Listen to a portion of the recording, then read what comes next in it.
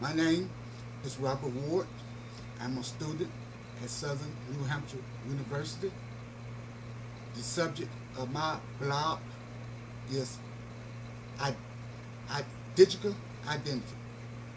The technology and digital identity is highly influenced. As a person, I am highly attached and attracted to digital technology, which are useful in my daily activities such as communication close to relatives and friends, surfing the internet for information, reading emails, uh, and, and, for entertainment purposes. Therefore, I am highly affiliated individual to di digital technology.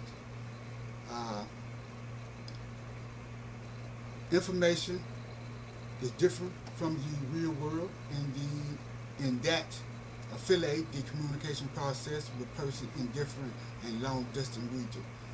However, in the real world, there is hindrance members of friends who are in long distance areas that cannot uh, be contacted without help of digital uh, technology. Consequently, in the digital identity, it is easy to conduct shopping through the use of digital technology, but in the real world, the purchase of material will take longer period of time. However, similar between digital identity and real world is that there is communication happening in both aspects. Technology helps an individual to inaccurately express a political dimension of a ca character through the making uh, much of a person. Time toward concentrating on the use of technology. For example, it is communication aspect. The, the technology has avenue where members can video conference chat, even share pictures about the discussion topic.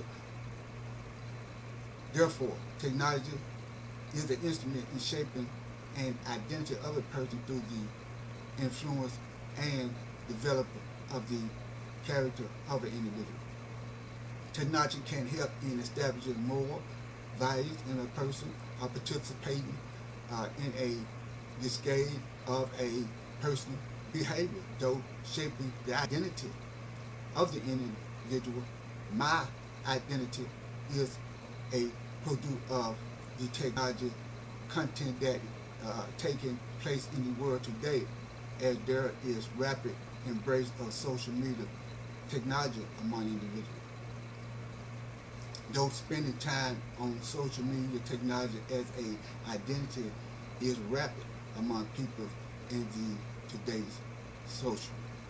The online identity help improve performance, especially activities that will require spending time online that there is different in behavior in when it's in the public as a attempt to socialize the individual and maintain a face-to-face communication rather than spending time on the technology. See, digital identity has an aspect as it affects the normal socializing aspect of me as a person making the spend time alone and social networking site. That's conclude my today's blog, Digital Identity.